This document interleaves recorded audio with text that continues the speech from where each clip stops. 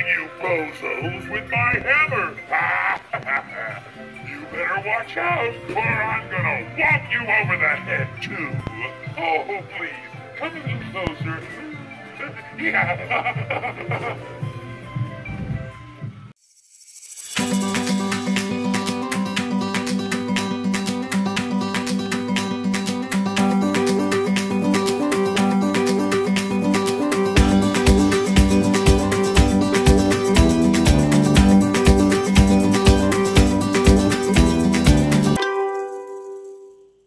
Welcome back to my channel. Thanks for joining me again. My name is Janice and today I have a lot of Halloween fun DIYs. So let's get started. Today I will be making three DIYs you don't want to miss, so stick around.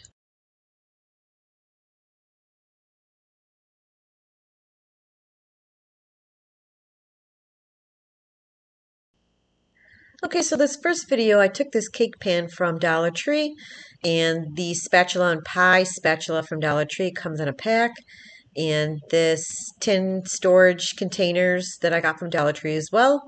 And I'm going to take it outside and just spray the cake pan in the red spray paint from Rust-Oleum in Colonial Red.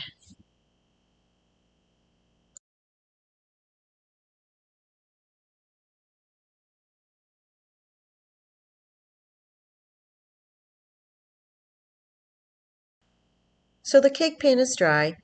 And um, I also painted the little tin containers with the black paint.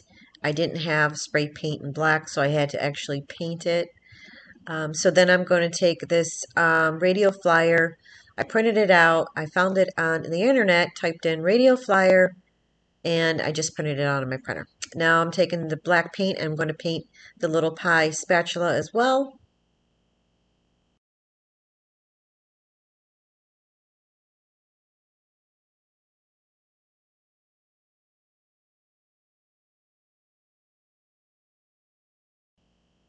I seen everybody making this little wagon, so I thought I'd give it a try. So I need to make a small circle, so I'm just using the top of the bottle.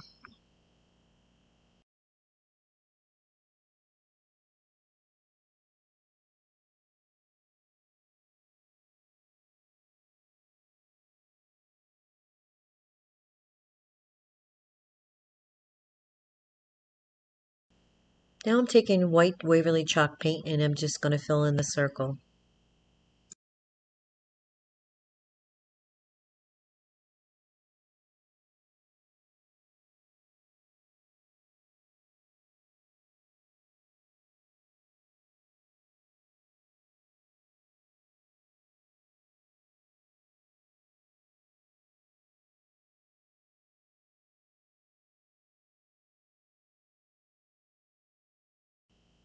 Now I'm taking the red paint and I'm going to make a little tiny circle.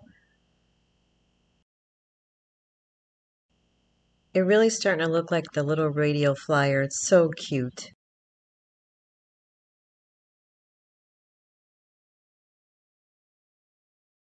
Taking this now I'm taking this wood skewer I got from Dollar Tree and just painting it black because I'm going to hot glue the little wheels to it. I know some people have used magnets and I didn't want to.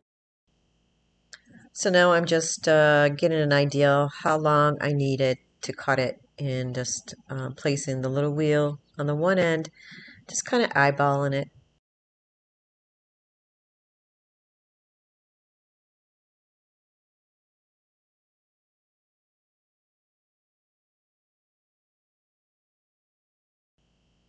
So I'm placing some hot glue in the little inside of the wheel and um, holding it down for a few seconds and then I'm going to put the other end the same way and repeat the same steps for the other side as well.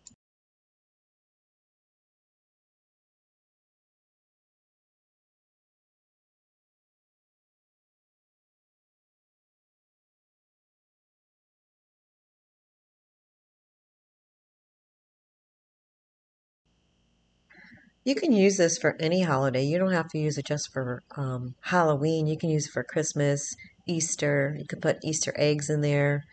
Um, for Thanksgiving, you can put uh, pine cones and fall leaves, stuff like that. It's, it's really cute.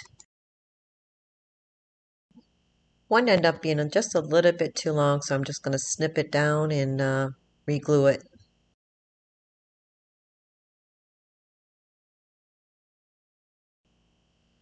Now I'm going to take my hot glue and I'm going to hot glue underneath where the little wood piece is and make sure it's secure and tight. But for a better hold, I would suggest super glue or E6000 because the hot glue is just not a strong hold, but it'll do for now. And look how cute that is. It's so adorable. I love it.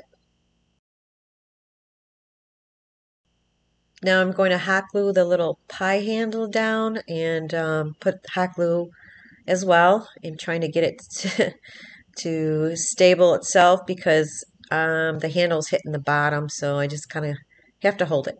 And that's the result of the little handle. Now I'm going to take this radio flyer that I printed out. I'm going to cut it. I'm going to take some glue, tacky glue that I got from Dollar Tree. Unfortunately, you can't see what I'm doing because the way the camera is angled, but I'm just putting some tacky glue down on it, and then I'm going to put it on the side of the wagon.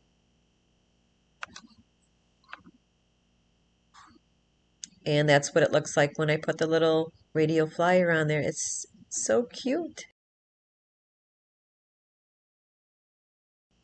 Now I'm going to take some of this straw I got from Dollar Tree. I'm just going to put a little bit inside the wagon. I don't have a lot of Halloween pumpkins because apparently my Dollar Tree still hasn't had still hasn't had their shipment come in yet.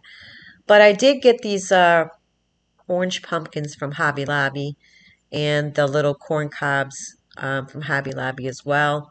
And that little pumpkin I got from Dollar Tree and this white pumpkin I made last year. And that's it. You can add anything in here. I just threw what I had in there. Um, and then the hay, uh, hay bales, and that was it. I just threw what I had in there and trying to make it look as cute as possible. And look how cute this is. It looks just like the little miniature radio flyer. I love it.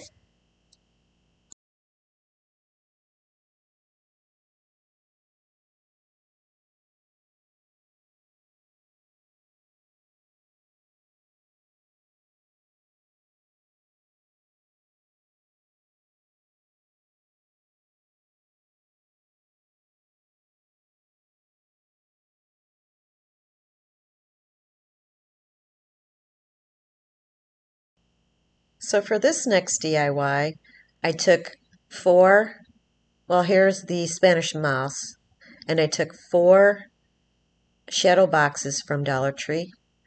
I have some craft paper that I got from Hobby Lobby. And there is the shadow boxes I got from Dollar Tree. I took the back end of them out already. And I have these two little skeletons I got from Dollar Tree. I am missing the one, I believe it's the See No Evil. That's right. And I'm using two of the little pumpkins that I got last year. I'm tracing out the back part of the back end of the shadow box and with the with the craft paper. And then I'm going to take some of the super glue, not super glue, Elmer's glue, the glue stick, and apply it and put it on the back of it.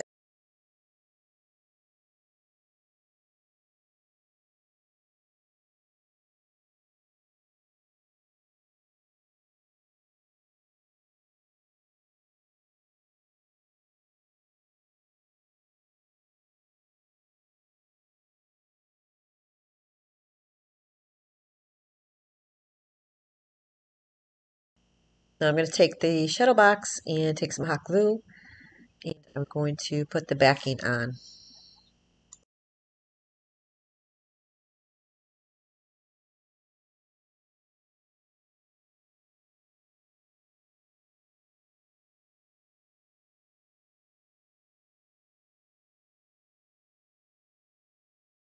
So I did the same thing to the other shadow box.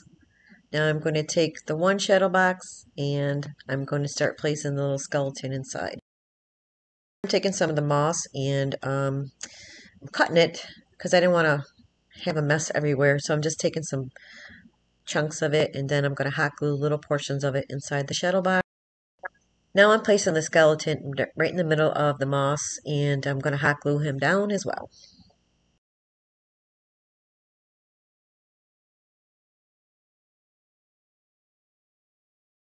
Some of the stores carry something like this or similar, and they're pretty expensive. So to make this from Dollar Tree products is pretty good, and it really comes out amazing.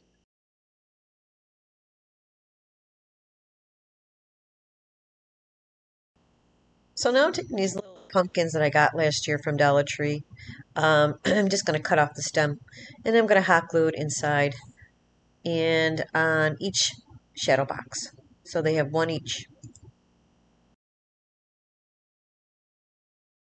Now I'm going to hot glue the shadow box on top. That also has glass, so it looks like he's inside the shadow box. So, but to have a better hold, I would advise if you ever try to make this, super glue E6000 because the hot glue is just not going to uh, be strong enough. Here's a sneak peek. I think it's cute. Spooky for Halloween. And then the other one I did off camera because I didn't want to make it too long. And here's the two. And here's the final product. I love them. I'm going to put them out on my uh, shelves for Halloween. And I hope you like them too.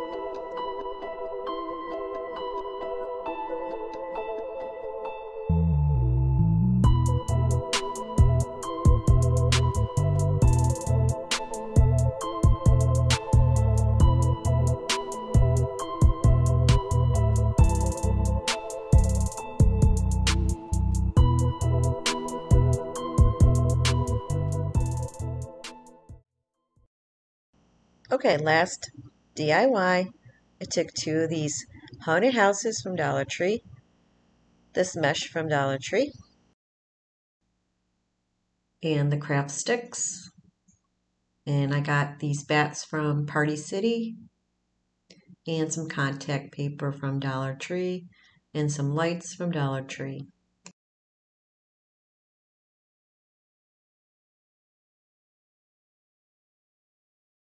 So I'm going to remove all the tags from the little haunted house.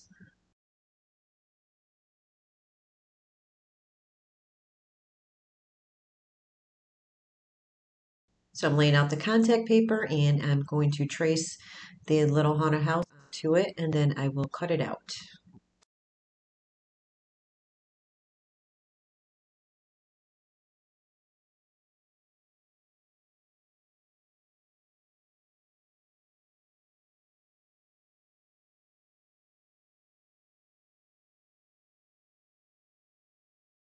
I'm using my little blade knife. I got this from Hobby Lobby. Makes it easier because it's hard to use scissors.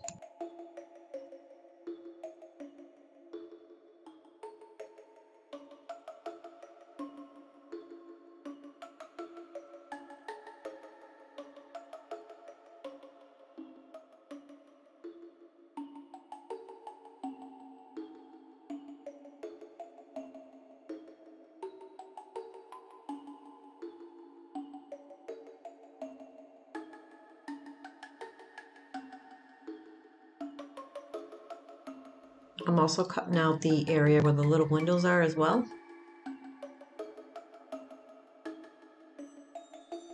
I'm placing the contact paper on the little haunted house, uh, making sure it's going to fit right, and then I'm going to start peeling it and applying it slowly and making sure that it's aligned.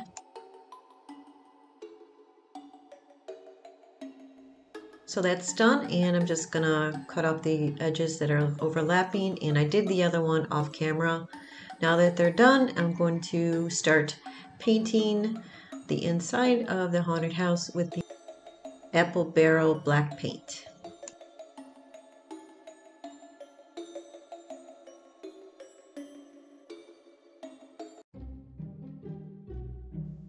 Now I'm using the black paint on the popsicle sticks and give it a quick light coat. I'm going to use these for the trim for the windows. Now I'm taking some of the black paint and just distressing the little haunted house with some black smudging here and there um, just to give it like that old haunted look to it.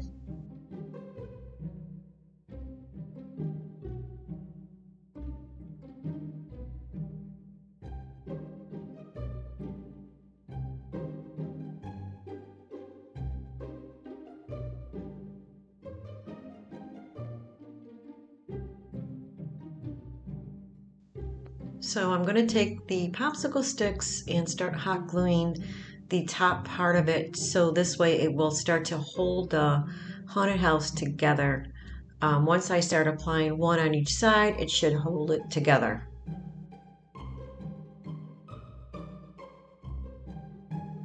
Sorry guys, it's out of frame right now, but um, all I'm doing right now is just placing two popsicle sticks at the top.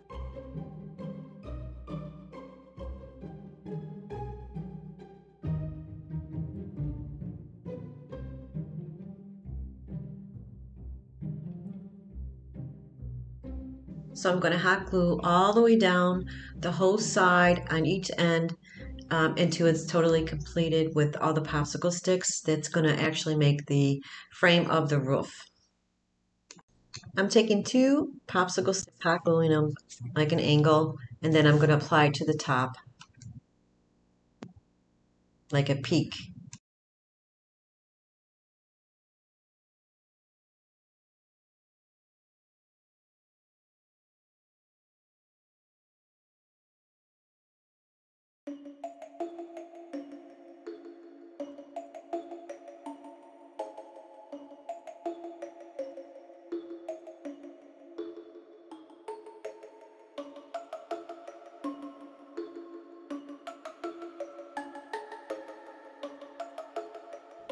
So I'm taking the black paint, I'm going to paint the roof, and um, I'm not going to actually um, cover it totally with all the black because we want to make it spooky.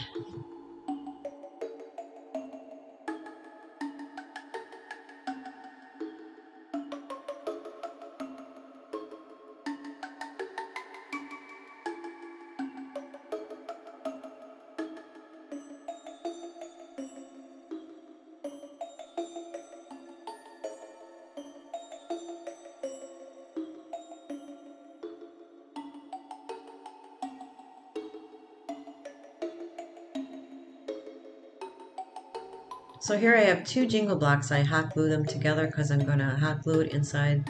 And that's what I'm going to wrap the lights around so they can actually sit on something because there's no bottom to the, the haunted house. So it needs some support.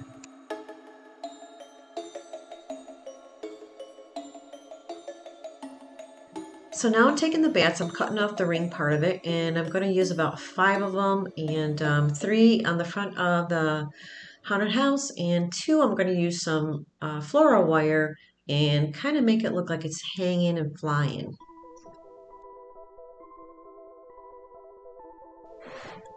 So I'm taking the floral wire and I'm going to find a spot and then I'm going to wrap it around one of the popsicle sticks and uh, add a little bit of uh, hot glue to that.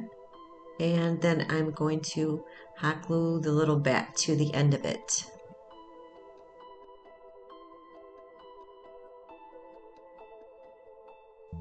And that's what it looks like. It looks like it's um, flying off the roof and then I'm going to apply one the same way on the other side.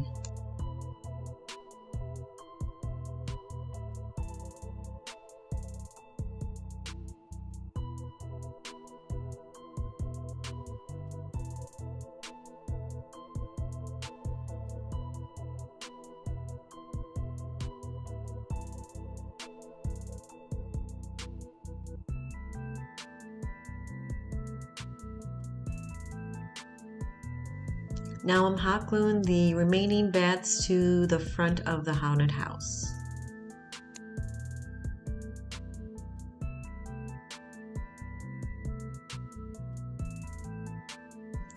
And that's what the bats look like. It looks really cool. Now I'm taking the mesh and I'm going to take some um, Mod Podge and put it over the windows. This step should have been done um, when I had it apart.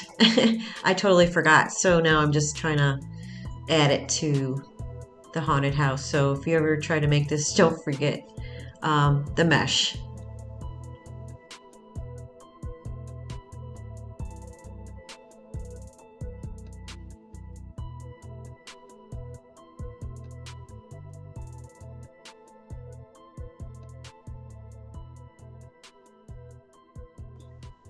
And this is the final results. I think it came out amazing. I love it. Let me know in the comments below. Do you guys like it? That's it for this video, guys. Thank you so much for watching. And if you enjoyed this video, please don't forget to subscribe to my channel. And once again, guys, thanks for watching. I'll see you next time. Bye-bye.